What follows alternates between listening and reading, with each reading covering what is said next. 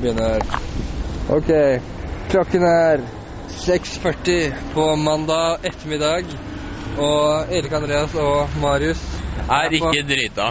Vi er absolutt ikke drita i København denne Nei. desemberaften.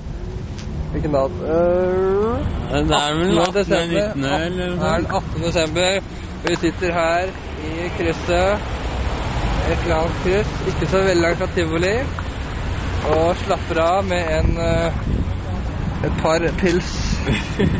Et par pils. Det var litt mørkt, men det er ikke åpna igjen, da. et par pils. Og hva har Marius å si til det?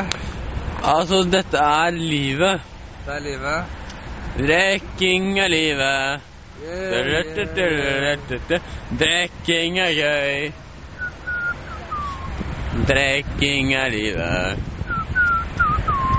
Drikking er gøy! Jævla er meg. yeah.